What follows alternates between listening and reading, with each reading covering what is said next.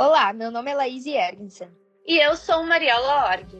Olá, meu nome é Bárbara Niedermayer. Olá, meu nome é Lucas Vieira. Eu sou Camila Mendes. E eu sou Alberto. E eu sou o Renato Marqueto. E eu sou a Maria Eduarda Romanha. Olá, meu nome é Ana Vitória.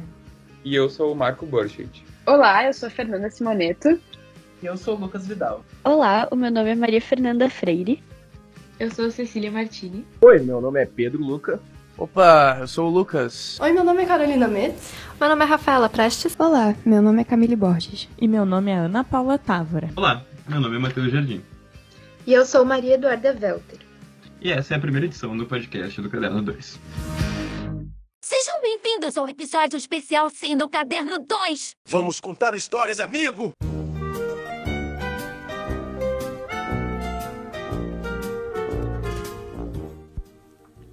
Eu pude participar do primeiro episódio do Caderno 2 Podcast. Foi quando a gente fez essa mudança no formato do, do programa, que antes era muito focado na TV, que a gente fazia o programa semanal. E com a pandemia, a gente tentou achar uma maneira de mudar esse formato para a gente conseguir adaptar o Caderno 2 continuar fazendo um programa cultural e continuar produzindo jornalismo, mas em um formato que, enfim, deixasse a gente seguro durante a pandemia, que era inviável o, o programa que a gente tinha antes durante a pandemia. Então a gente não sabia muito o que fazer, foi um, uma coisa muito de teste que aconteceu justamente na cobertura do Festival de Cinema de Gramado, que é uma coisa que era característica do Caderno 2, o Caderno 2 sempre ia cobrir o festival presencialmente em Gramado. Então a gente fez essa cobertura totalmente online, em formato de podcast e também de texto. Então participei do primeiro episódio, a gente nem sabia muito bem o que estava fazendo. Então foi um roteiro assim que a gente construiu do zero e todo mundo colaborou com isso. E foi muito legal poder participar desse primeiro episódio. E depois em 2022, eu pude ir para Gramado fazer a cobertura presencial do festival, então foi muito marcante poder ter essa jornada completa, assim, de tentar adaptar o programa para para continuar na pandemia, para o Caderno 2 não se perder durante esse momento e depois poder viver presencialmente em Gramado, uma coisa que já era uma tradição. Então é muito legal poder participar também desse episódio 100 para contar toda, toda essa trajetória e como foi muito especial para mim. Eu sou muito grata ao Caderno 2 por tudo. Eu sempre falo que o Caderno 2 foi o espaço da faculdade em que eu me encontrei. Foi onde eu fiz meus primeiros amigos na faculdade, foi onde eu tive oportunidades que me ajudaram muito a crescer como profissional e também como pessoa, onde eu aprendi a me virar nos 30 para conseguir fazer uma, uma matéria, quando eu ainda não, nem tinha aprendido nas cadeiras da faculdade, mas o Caderno 2 foi essa escola que me ensinou a fazer muita coisa e também me abriu muitas portas, porque foi o primeiro espaço onde eu tive a oportunidade de realmente vivenciar o jornalismo e eu sou muito grata a isso. Eu não sei dizer o que seria da minha graduação sem o Caderno 2. Ele acabou sendo uma das partes mais, sem dúvidas, mais marcantes e mais completas da, da experiência mesmo de, do curso. Eu tive a sorte de conseguir pegar vários momentos do Caderno 2 e as diferentes mudanças que a gente conseguiu trazer e oportunidades que o projeto teve. Eu entrei ainda em 2019, né? Quando ele ainda era um projeto de televisão. E aí me permitiu ter um contato direto com isso. E de exercitar mesmo o jornalismo para TV, que é algo que a gente vê bem mais pra frente no curso. Então, tipo, no primeiro semestre eu já pude sair pra rua, fazer matéria, então isso foi uma coisa muito marcante. Aí depois com a pandemia a gente conseguiu reviver né, o projeto e fazer essa transformação. Então foi muito bom poder ter essas diferentes perspectivas. E aí dentro do próprio Calendário eu tive experiências como repórter e depois como editor né, de podcasts quando a gente instituiu essa nova vertente.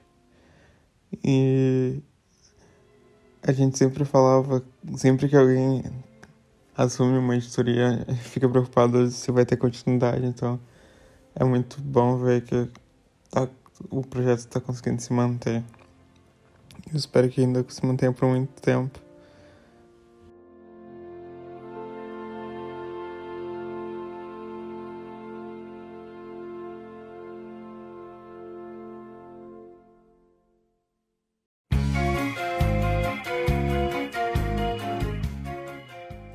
Certeza tem que ser, eu tenho que dizer a experiência de ir até o Festival de Cinema de Gramado em 2022 foi muito lento que eu imaginava que ia ser. E foi legal justamente por a gente ter começado a voltado a cobrir o festival na primeiro ainda durante a pandemia, de forma completamente online. Então, tipo, a gente, a gente retomou o caderno 2 eu ainda não era editor, mas já tinha um envolvimento maior. A gente retomou o Caderno 2 na pandemia com o Festival de Cinema de Gravado. Então, um podcast, os textos a partir daí. Então, poder ir com o pessoal que era mais, já estava mais antigo, que a Maria, a Bárbara e a Mariel, que virou, era a equipe basicamente das editorias de produção, né? Então, poder ir até lá, fazer as matérias, acompanhar o, a dinâmica do festival foi algo tipo, que agregou muito para mim, porque meio que foi uma coroa experiência do Canal 2, né? Então, tipo, é uma oportunidade que a gente não tem geralmente na graduação de outras formas. Então eu espero que ainda muitas outras pessoas consigam ter essa experiência também, né? Porque com certeza agrega muito e tipo foi com, sem dúvida nenhum o momento mais marcante assim da minha experiência dentro do Canal 2. Fora a cabine de imprensa também que a gente conseguiu trazer, né? Mas a experiência do festival de cinema foi, com certeza vou levar para sempre, sim. Então, eu entrei no projeto para participar em 2019/2 e foi bem uh, naquela época ainda não tinha pandemia, então tipo, o meu primeiro semestre na faculdade foi presencial e era um formato completamente diferente o caderno 2. A gente tinha uh, que produzir matérias para televisão focadas em coisas relacionadas à cultura, né? Assuntos culturais. E, e o que estava acontecendo em relação a teatro, exposições. Uh, e era algo muito diferente. Foi minha primeira experiência com jornalismo, minha primeira experiência com TV. E eu me lembro que eu ficava muito nervosa mas era algo, algo que eu gostava, que era falar sobre cultura. Então foi muito legal. E veio a pandemia, né?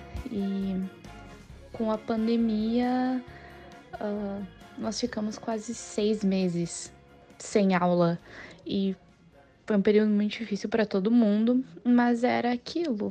As pessoas elas viam uh, os livros, a, a, a literatura, né? E as, as produções de séries pelo streaming, os filmes, como uma forma de escape, né, para aquela realidade que a gente estava vivendo.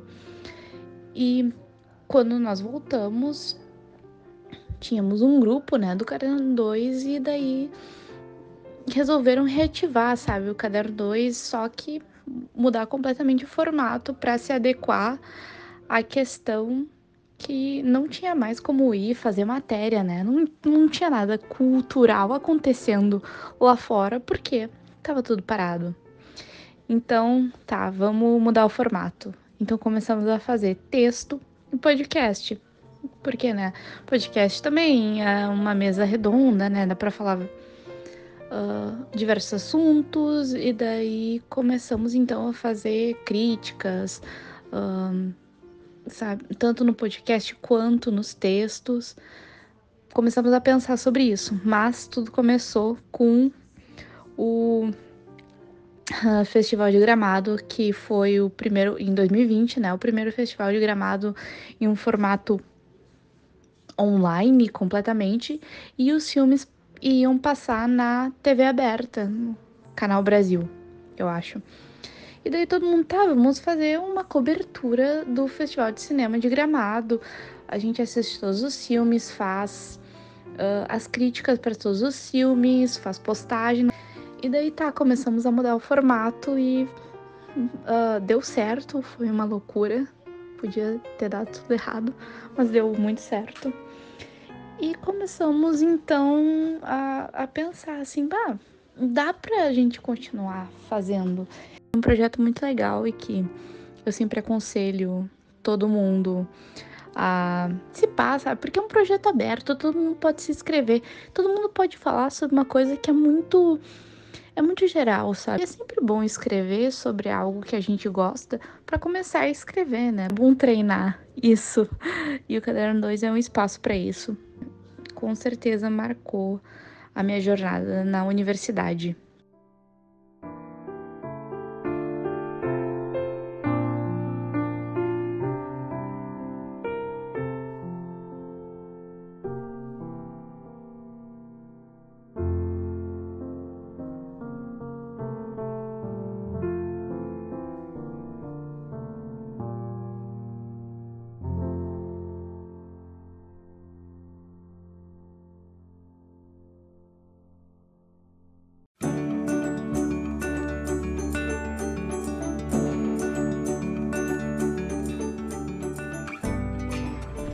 Assim, a minha história com o Caderno 2 foi que foi o primeiro lugar que me acolheu dentro da universidade quando eu entrei em 2018.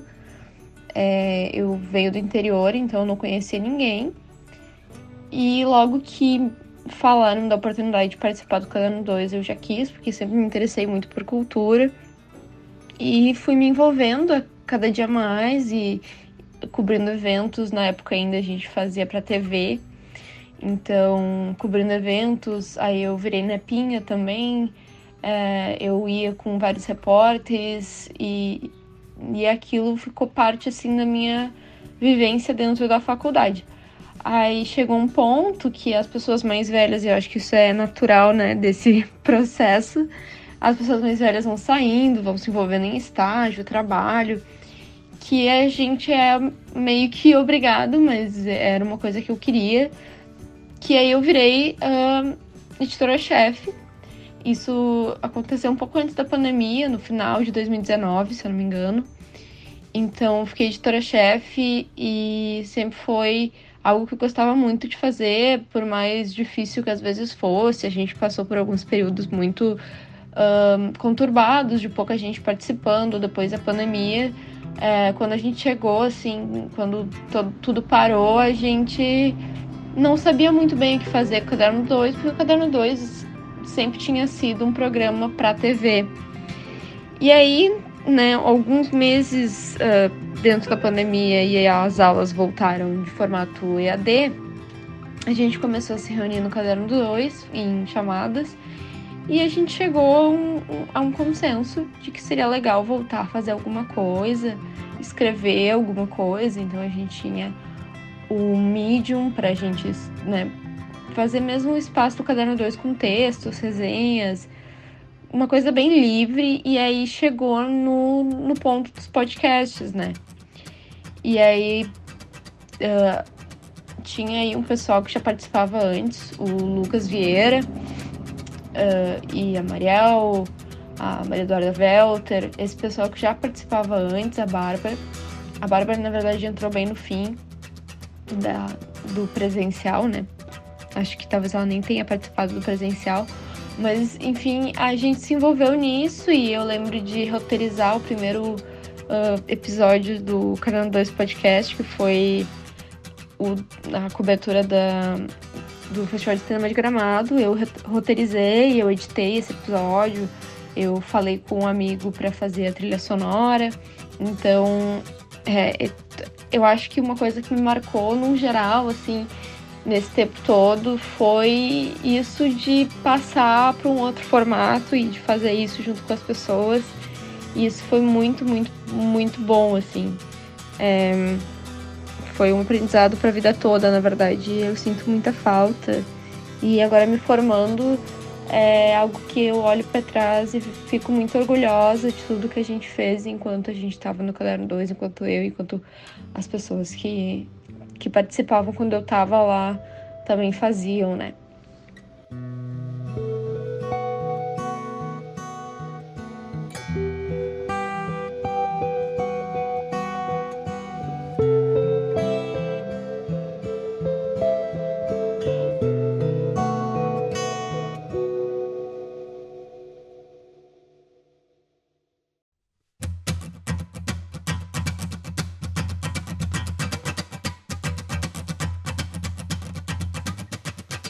Bom, o Caderno 2 significou para mim muita experimentação.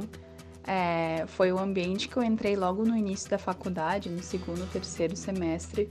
Então, naquele, naquela fase que a gente tá, tipo, muito curioso, mas ao mesmo tímido, inseguro de fazer as coisas.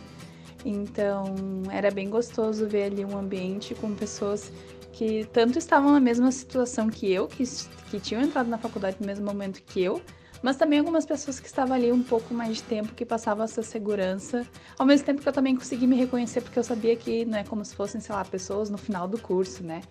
Então foi muito bacana de poder ter essa dinâmica de se organizar para fazer as pautas, de buscar é, as credenciais e, enfim, se dividir entre a galera para conseguir realizar as coisas. E, inclusive, é, é algo que, na minha experiência pessoal, eu me arrependo um pouco, porque eu era muito tímida. E se eu fosse um pouco menos, eu ia conseguir aproveitar mais. Ia conseguir me deixar uh, ir em alguma pauta, em algum show, em algum evento, porque às vezes eu ficava com vergonha de ficar ali na frente das câmeras. Ou até mesmo ficava com receio de ficar por trás das câmeras e fazer alguma gravação errada. Mas enfim, não tem isso, sabe? É um ambiente bem colaborativo mesmo. E afinal, é para isso que a gente é aluno. Então, é, realmente significou significou isso mesmo, viver na pele algo que na verdade era meu sonho, né? Então, muito massa. Já sobre o meu momento caderner favorito, assim, é, bom, eu vou ter que dizer um que foi bem específico, que aconteceu num dia em si, e outro que era recorrente, né? Esse do dia específico foi quando eu fui fazer a cobertura de uma banda que eu gosto muito, que é o Vanguard. E foi muito legal mesmo poder ver a banda, poder conversar com pessoas que eram tão fãs da banda quanto eu. A minha dupla que estava fazendo a cinegrafia também era muito querida. E no final de tudo, a gente conseguiu fazer uma entrevista com eles. Um, meio que foi na tenteada, assim. E o pessoal foi muito legal, assim, a gente ficou trocando ideia. Uh, inclusive, a gente até se adicionou depois, eu e, e eles e a minha colega cinegrafista, todo mundo da banda nos, se adicionou ali no Instagram. E isso foi muito legal. Então, essa foi uma baita experiência para mim, até porque, de novo, por eu ser uma pessoa tímida, eu tava com vergonha de tentar lá fazer isso, tentar falar com eles, mas enfim, eu fui e foi muito bom. E esse segundo momento que eu falei ali no início, de uh, algo cotidiano, era realmente chegar ali no, no ambiente do NEP e trocar ideia com as pessoas. E a gente tinha um caderninho muito engraçado que a gente anotava frases célebres. Então, talvez esse caderno exista até hoje, mas a gente anotava ali coisas muito engraçadas que, as, que a gente falava, anotava ali, ia sempre colocando coisas extras, então tu poderia ver as coisas que falaram no passado. E isso é um registro de que, enfim, é um ambiente muito leve e muito, muito gostoso de estar.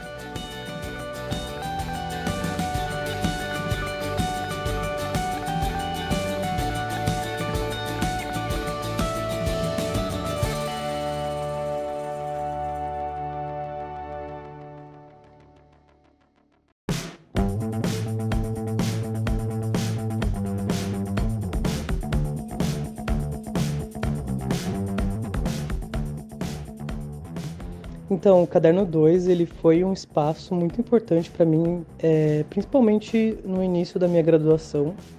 Logo quando eu entrei na URGS, eu tive a oportunidade de conhecer o Caderno 2 e, e poder me formar, assim, tanto é, na parte de qualificação, porque é, foi um espaço em que eu aprendi muito a mexer de forma técnica com as câmeras, consegui também é, aprender a fazer as saídas de campo é, com o pessoal do jornalismo. Então a gente tinha um trabalho em equipe muito interessante que é, foi a partir do Caderno 2 que o pessoal ali da Fabico conseguia é, aprender na prática, né, como é que era produzir um programa, né, construir, gravar, fazer as saídas de campo, editar. Então foi um espaço que é, me fez também gostar mais ainda do audiovisual, que era uma, par uma parte que eu gostava bastante já desde de antes de entrar e que o Caderno 2 conseguiu, de certa forma, aperfeiçoar assim, é, em todos os estudantes que estavam fazendo parte do programa.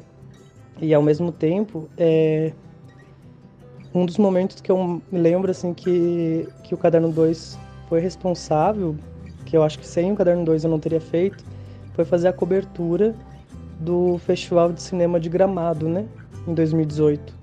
E foi muito legal porque o Caderno 2 entrou como imprensa e a gente achava aquilo tão, tão legal por ser estudantes, né? E a gente entrar com um crachazinho de imprensa, fazer a cobertura com o equipamento, com câmeras. Lembro que estava bem frio naquele dia, assim, que, que a gente foi fazer a cobertura. Era uma semana, na verdade, a gente foi se revezando e conseguiu fazer a cobertura inteira do festival, é, editar e conseguir fazer sair tanto no programa, que, era, que saía na TV, né, quanto também no, no canal do YouTube. Então, foi um espaço que eu conheci também é, outros artistas, é, conheci o festival, que era um sonho meu já de participar, e que eu acho que se não fosse pelo Caderno 2 eu nunca teria ido é, visitar esse festival, né? Então, é, foi um momento memorável e, entre outros também, né? Porque o Caderno 2 ele consegue, é, nos permite, né, enquanto estudantes, acessar é, diversos, é, diversos eventos culturais é, de forma gratuita, porque a gente entra como imprensa na maioria das vezes, né? E consegue acessar esses espaços, consegue é, ter contato com a arte local da cidade e do Estado e ao mesmo tempo a gente consegue produzir um conteúdo bacana, interessante para as pessoas e se forma, né? É, então acho que é, é maravilhoso poder participar. Eu acho que todo estudante que consegue ingressar na URGS, nos cursos de comunicação e de certa forma é, consegue participar do Caderno 2 faz com que essas pessoas tenham a oportunidade de experimentar algo já no início do curso que proporciona é, uma experiência maravilhosa, assim, tanto no sentido de extensão, porque também é um, é um projeto de extensão, mas também é, para o currículo, para a qualificação. Então é importantíssimo e eu acho que para mim é, valeu super a pena participar e conhecer é, o pessoal que trabalha no Caderno 2.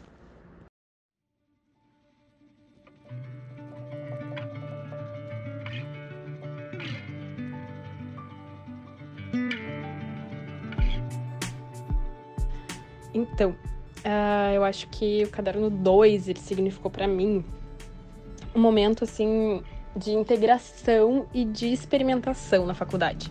Eu entrei logo assim nos, primeiros semestres, eu já comecei a fazer parte do caderno 2 e foi uma coisa, uma indicação dos meus veteranos da época. E foi, sem dúvida, uma das melhores experiências da faculdade, porque eu pude entender um pouco mais aonde eu estava me colocando, me enfiando, né, dentro da faculdade, porque é muito legal tu poder fazer a produção dos eventos, ver como é que funciona esse contato com as assessorias, depois como que funciona ir num show, ir num evento cultural, fazer a cobertura dele, ser repórter ou ser câmera. Depois toda a parte de edição foi onde eu aprendi a editar, que é hoje uma coisa que eu trabalho, sabe, no meu dia a dia. Então, o caderno 2, ele foi essa porta de entrada, assim, de experiências, coisas práticas, coisas que eu só ia ter lá pelo terceiro, quarto semestre, eu já estava tendo desde o primeiro. E, sem dúvida, foi um, um momento, assim, uma oportunidade muito legal de conhecer Porto Alegre, né? Porque eu sou da região metropolitana e, óbvio, eu conhecia, mas conhecer esse outro lado que é mais cultural, de teatros, de, uh, de, de festivais mesmo que Porto Alegre tem, de shows, de peças de teatro, de dança sei lá, de todas as, né, de, enfim, todas essas potências. Tinha um sarauzinho da Biboquinha de Porto Alegre, a gente ia cobrir, a gente fazia muito a cobertura de eventos culturais.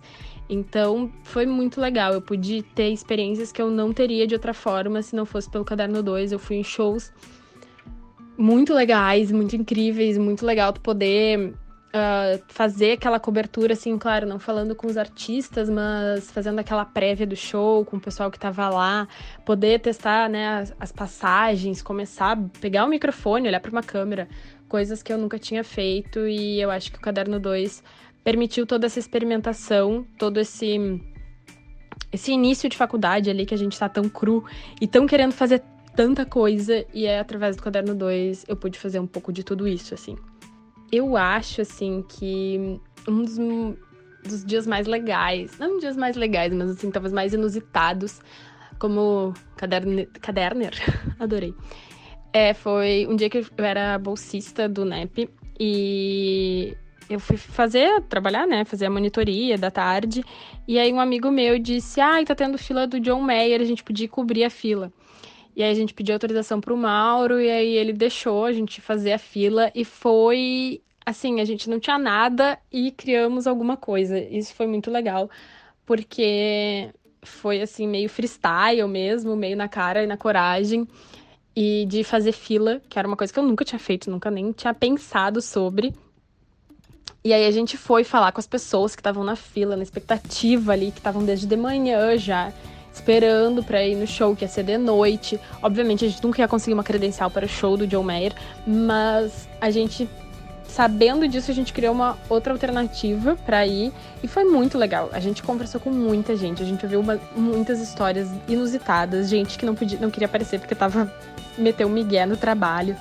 Uh, gente que conhecia pessoas da Fabico e que, sabe, ah, sei lá, assim, foi muito legal. Foram pessoas fãs. Tinha uma pessoa que era uma doida, que ela tava. Ela foi em todos os shows daquela turnê e pelo Brasil. Tipo assim, ela já tava no quarto, quinto show dela e lá estava ela na sentada porque ela queria grade. Então, acho que assim, para quem gosta do rolê cultural, falar com os fãs é uma das coisas mais legais, porque te enche daquela energia assim do show.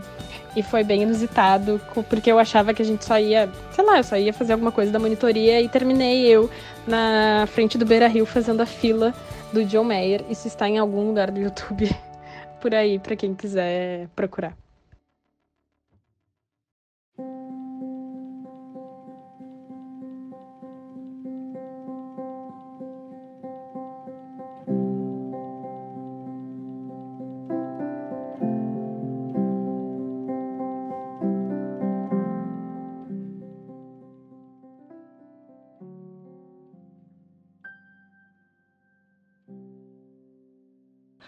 Uh, sobre o que o Caderno 2 significou para mim, eu acho que uh, o Caderno 2 foi muito importante para eu me descobrir como jornalista. Eu acho que jornalista cultural, né? Eu acho que foi uma grande influência, assim, no que eu viria fazer depois de formada e também até nos últimos anos de faculdade. Eu trabalho com jornalismo cultural hoje. E é a minha paixão, assim, eu descobri isso no Caderno 2. Uh, ah, descobri várias outras coisas também, coisas que...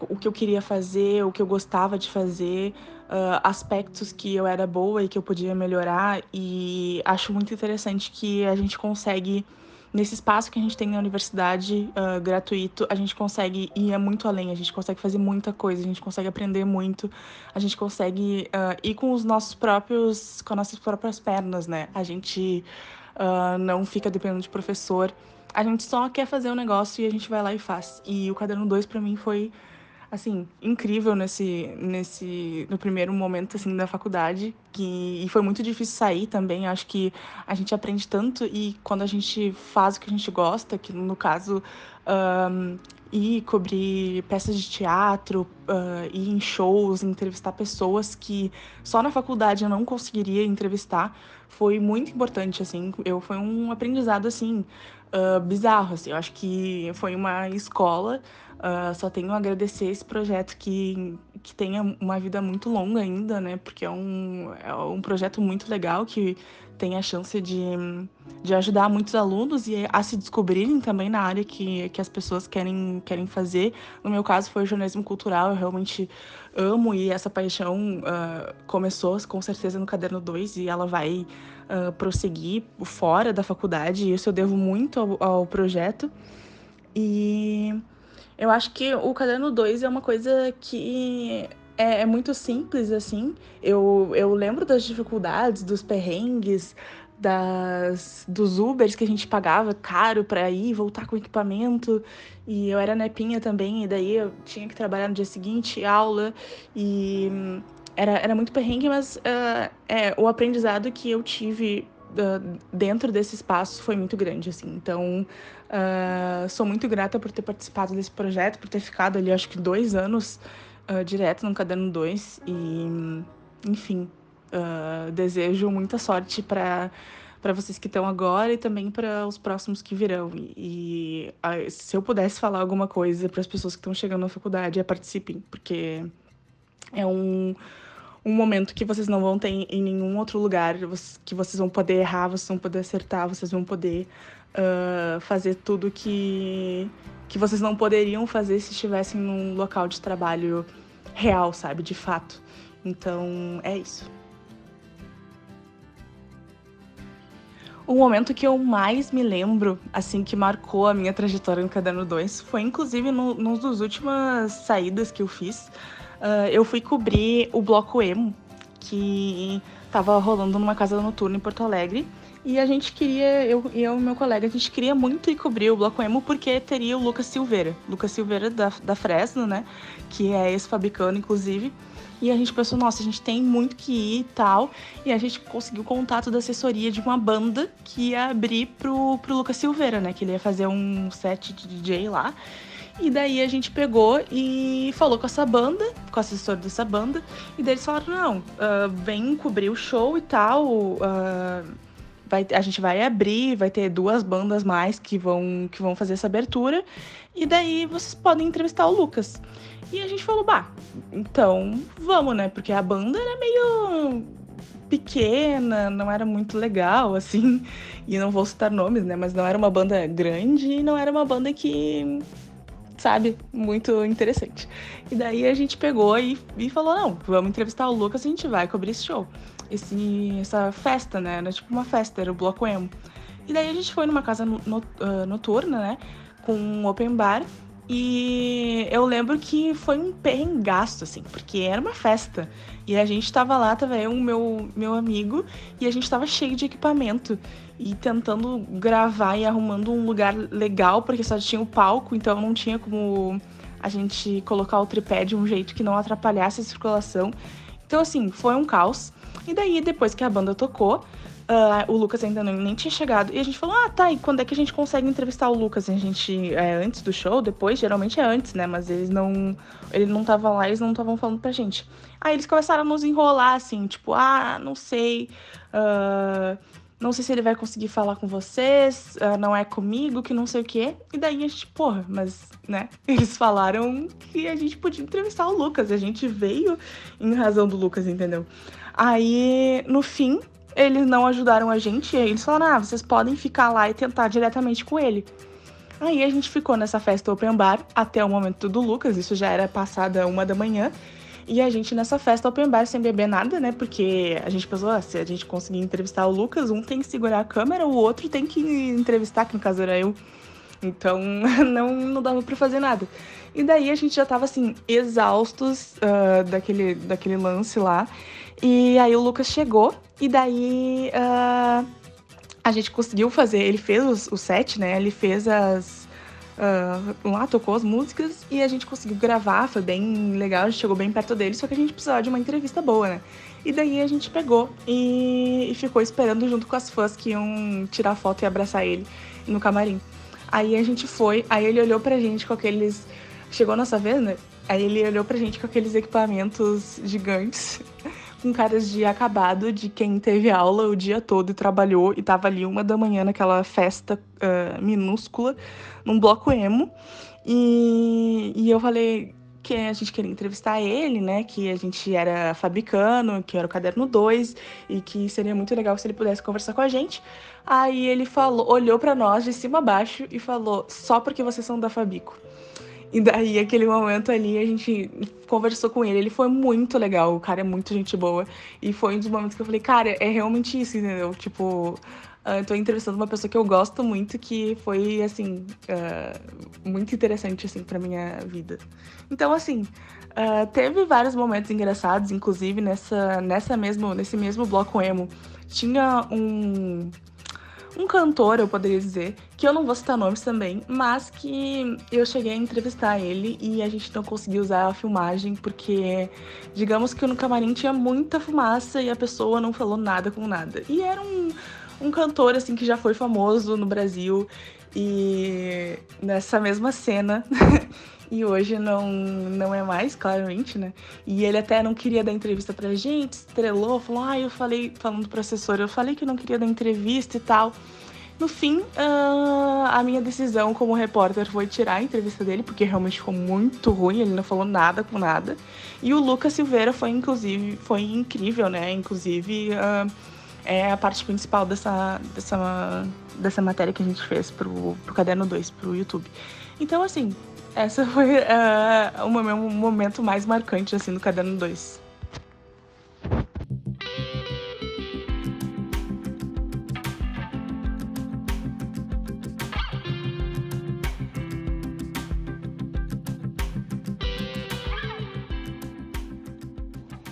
Oi, meu nome é Natália uh, Laurindo. Eu participei do Caderno 2 em 2016 e 2017.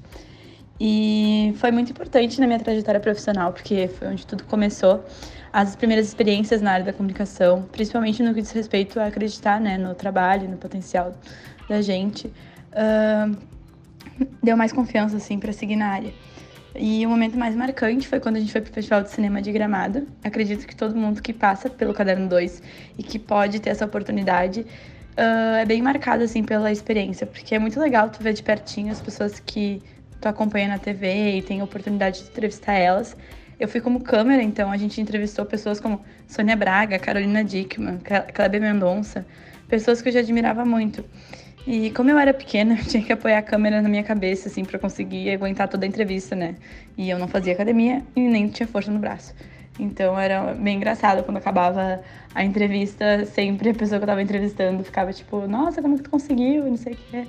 Então era bem legal, assim. E um dia faltou repórter também no, nos dias que a gente foi cobrir. E eu tive que ser um pouco jornalista também, então eu saí da câmera e fui pra frente da câmera e foi uma experiência bem legal, assim, tu acaba aprendendo muito com essas adversidades e com, com os desafios, né?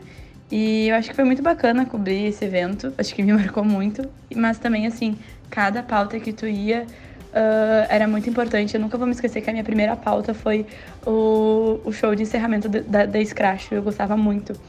E aí foi bem especial, assim, porque eu não, não talvez eu não teria oportunidade de ver eles. E eu fui, né, e a gente foi como câmera. Então, nossa, era muito, muito legal essa experiência com o Caderno 2. E até hoje eu lembro e falo e conto as histórias das, dos perrengues chiques que a gente tinha. E foi muito especial.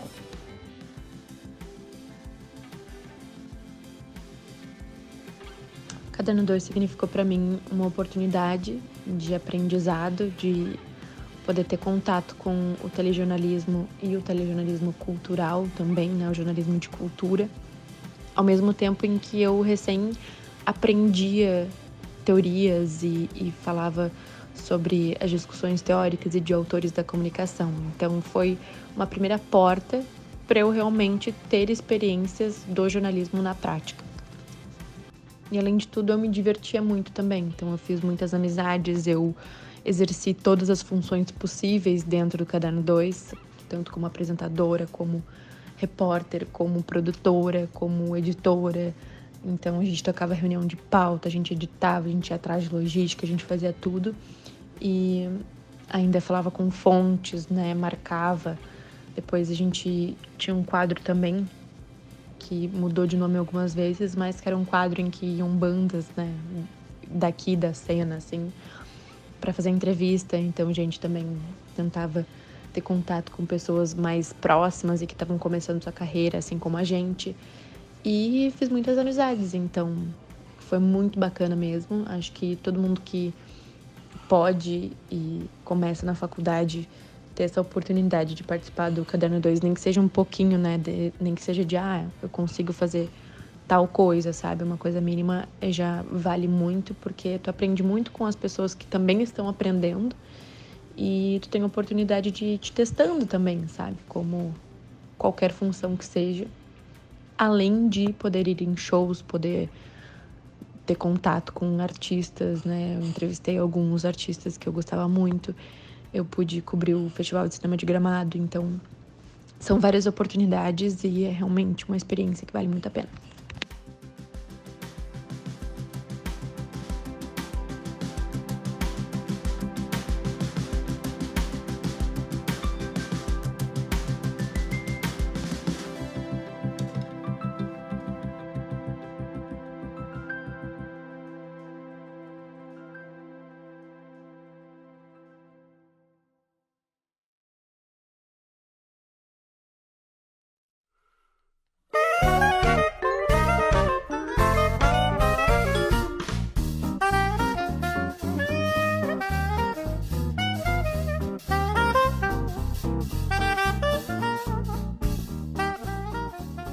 E este foi o episódio de hoje do Caderno 2. Nos siga nas redes sociais, estamos ativos no Facebook, Instagram e Twitter. Leia nossos textos disponíveis no Medium. A edição desse podcast foi feita por mim, Pedro Luca, e foi roteirizado pela Daniela Lacerda. A trilha sonora original é do Arthur Last e do Adriano Quadros. Muito obrigado pela audiência de vocês, espero que tenham gostado e até semana que vem.